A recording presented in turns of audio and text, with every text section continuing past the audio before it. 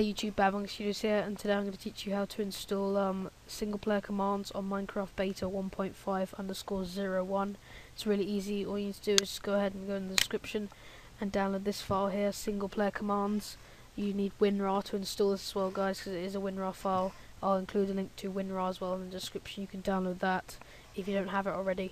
So um, this is really easy to do, what you have to do is download the file, obviously just put it on your desktop, that's where I find it easiest, but you don't have to.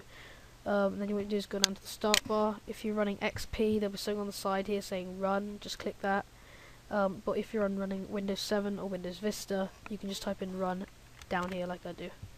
Just go ahead and click run there and type in percent app data percent and hit enter. Go into one that says .minecraft and then go into the bin folder. Right click on the one that says Minecraft, open with WinRAR Archiver.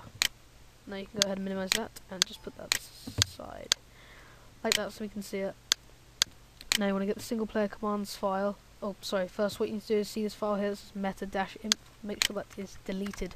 Because if that isn't deleted you get a black screen, this won't work. So now go into single player commands, open that up, and you're going to get a bunch of files. Um, what you need to do now is just um, the one that says worldedit.jar right there at the top you can drag that out onto your desktop like that and go ahead and delete it. Oh go ahead and delete it in. No stop deleting the name. Oh my god it's not working. Okay what you need to do is then because that isn't working just select all the files except the world edit.jar and then you want to drag all these files into your minecraft.jar down here. Click ok. And now what you can do is you can just close out of that and have your world edit.jar on your um uh, your desktop.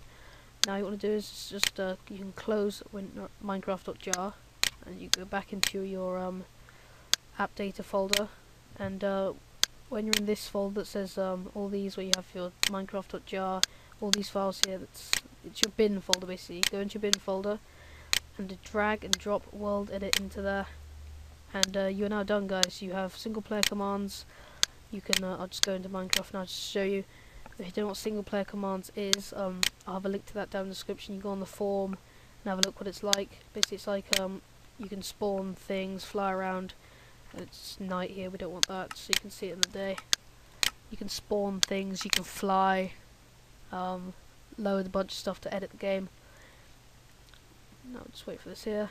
And uh, you can see it says single player commands down there. If you press T on your keyboard, you can open it up. Like, uh, you can do slash spawn cow 34 and his spawns just turn, just turn on my sound there. As you can see it spawns all the cows. So that was the video guys. I hope you liked it. Um, if this worked for you please thumb up the video. It really helps. And uh, subscribe for more Minecraft videos. And I uh, hope this works for you. Bye